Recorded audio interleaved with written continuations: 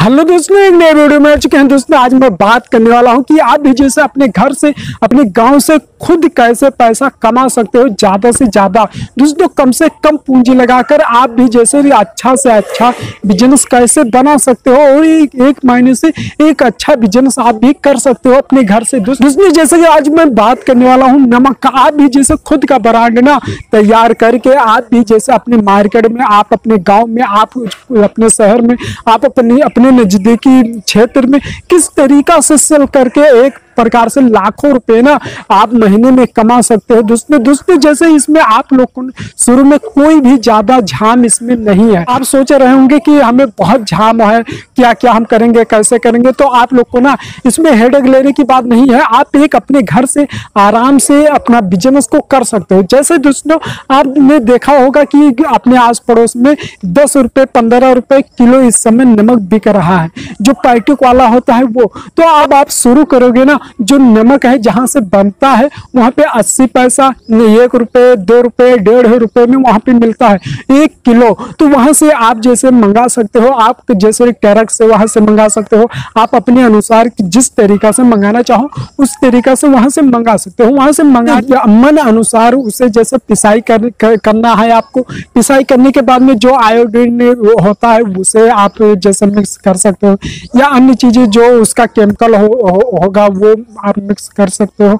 Mix करने के बाद में आप अपना खुद का जैसे जो पन्नी होता है, जो आप ब्रांड अपना बनाना चाहते हो, उस ब्रांड को ना आप अपने अनुसार सेट कर सकते हो।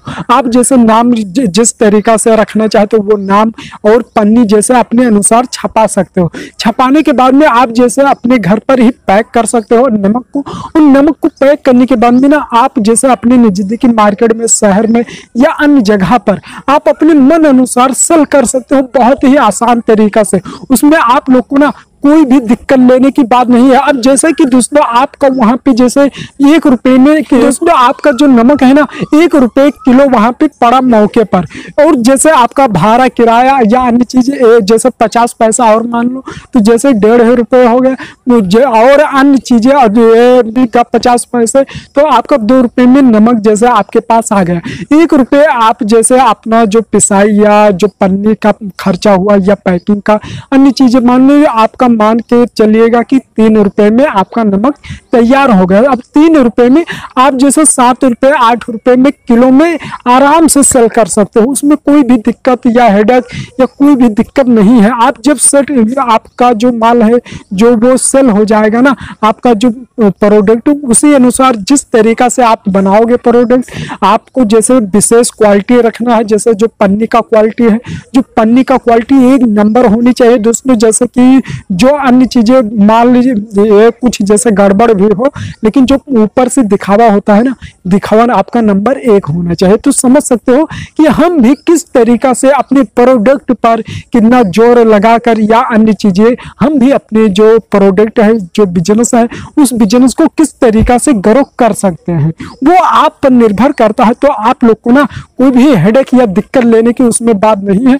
आप भी कर सकते हो अपने घर से, और जैसे समझ सकते हो कि आपका तीन रुपए का जो है, वो सात रुपए, आठ रुपए में आराम से सेल हो जाएगा। वहाँ से जो दुकानदार है, दो रुपए, एक रुपए, तीन रुपए, वो मुनाफा अपने अनुसार लेगा। तो समझ सकते हो कि हम भी एक जैसे चार रुपए, पाँच रुपए, एक किलो के पीछे कमा सकते हैं। दोस्तों जैसे आप दिन भर में ना दस कुंटल बीस कुंटल सौ कुंटल जैसे पचास कुंटल जिस तरीका से आप निकाल सकते हो, उस तरीका से डिवाइड कर लीजिएगा। कितना आपको बड़ा मुनाफा हो सकता है घर बैठकर एक अच्छा इनकम आप भी कमा सकते हो। तो दोस्तों ना, आपको देरी नहीं करना है, आराम से आप भी बिज़नेस इसको शुरू कर सकते हो। आपके पास जैसे पचास हज़ार है, साठ हज़ार है, एक लाख है, दो लाख है, आप वो आप पर निर्भर करता है कि हम कितना पूंजी लगाएँ या किस तरीका से हम बिज़नेस करें। दोस्तों, जैसे ये हमारा छोटा सा वीडियो आप लोग को अच्छा लगा हो तो लाइक और सब्सक्राइब ज़रूर करना, क्योंकि ऐसे अन्य वीडियो में लेकर आता रहता हूँ। मिलते हैं अगले वीडियो में, जब तक के लिए जय हिंद, जय भारत। Thank you